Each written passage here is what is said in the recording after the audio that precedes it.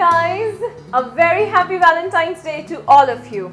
Today is the most romantic day of the year. I absolutely love this day because it's so full of love, you know. But by no means it celebrates the love only between a girl and a boy or a husband and a wife. It celebrates all kinds of love. Love between parents and their children. Love between brothers and sisters. Love between two friends. Even the love between you and your pet. So, you know, for me, people have their own choices to express their loves. But for me, the best way is to do something on your own, you know, rather than just buying something from outside. So why not you express your love for your family by baking a perfect Valentine's Day dessert, red velvet cupcakes with cream cheese frosting. Let's start cooking. To start baking, first thing I need to do is preheat my oven at 180 degrees C and then prepare my baking tray. I just need to line it with my cupcake liners.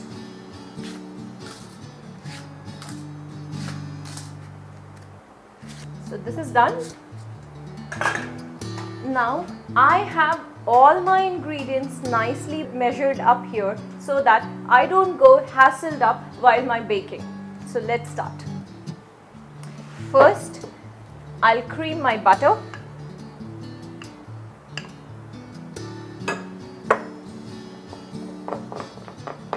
I'll cream it or keep on beating it till it becomes really nice and shiny in texture and also a little fluffy and smooth in its consistency. So my butter is nicely creamed up here. I'm just going to add my caster sugar in parts. I'm going to uh, cream it or beat it till it's nicely incorporated in my butter. Rest of the sugar.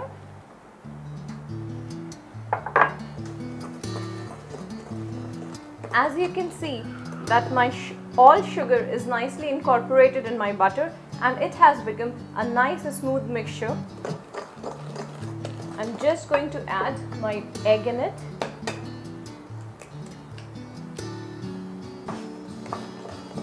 And start beating again.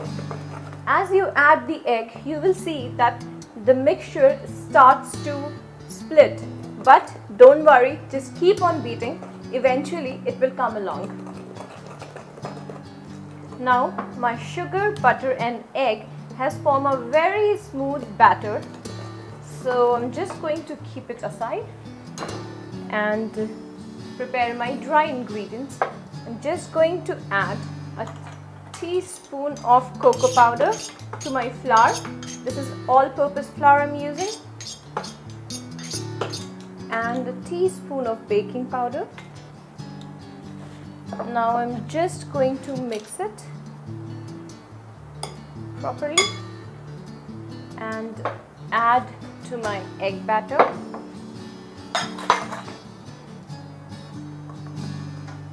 Now I'm not going to beat it. I'm just going to fold it everything together till it forms a smooth batter again. So this batter is ready. I'm going to now give it a nice color. I have here some buttermilk. I'm just going to add a teaspoon of vanilla essence to it and also half a teaspoon of red color. The color reacts with the buttermilk and gives it a very nice crumbly texture to the red velvet cupcakes. Now I'm just going to add my coloring to my batter and fold it in.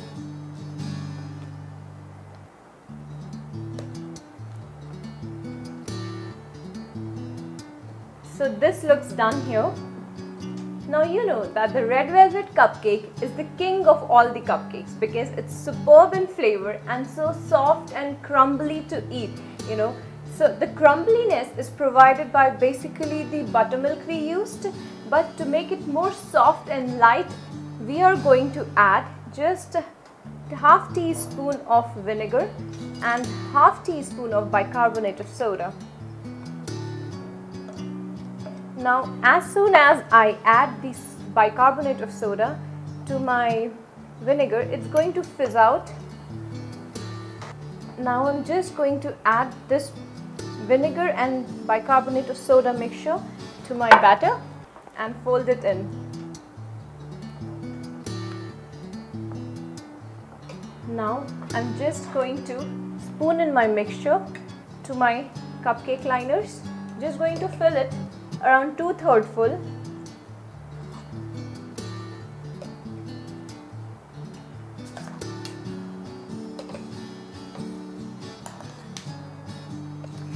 So my cupcakes are ready to go into the oven. Now they need to be inside the oven for around 15 to 20 minutes. Meanwhile, let's start preparing our cream cheese frosting. To prepare my cream cheese icing, I'm just gonna beat butter and cream cheese together.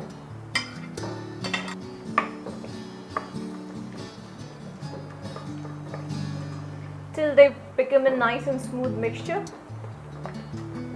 Now this has become a really shiny and smooth mixture which is perfect for the icing. And now I'm going to add my icing sugar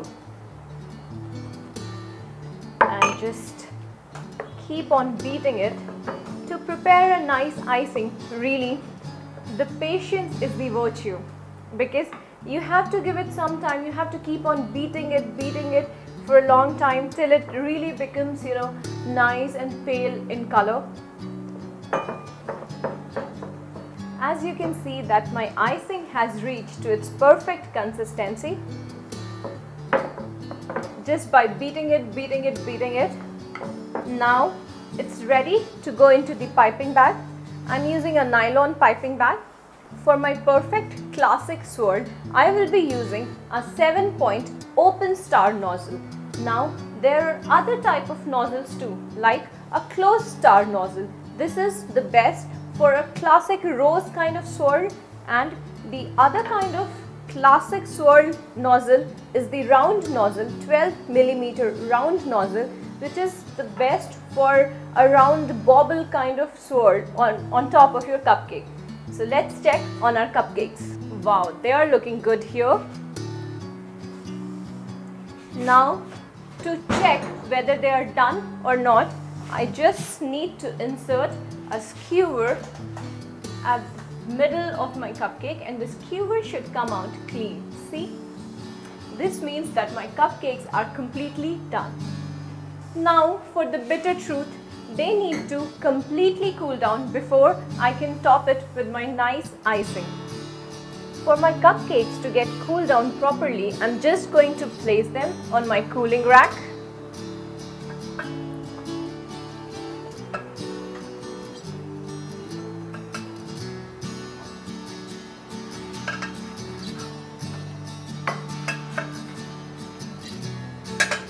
While the cupcakes are getting cooled down properly, let's prepare our piping bag. First, I'm just going to pop this nozzle inside the bag. Just take it out like this. And then I'm going to fold it like this.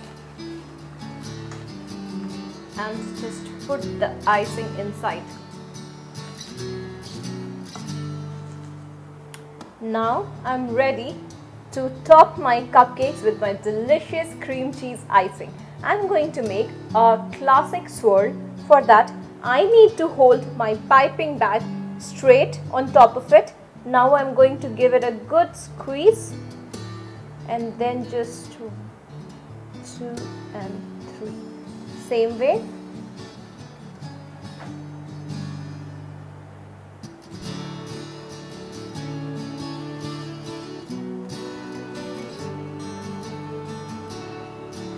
Now to make them look more perfect, I'm going to top them with a strawberry.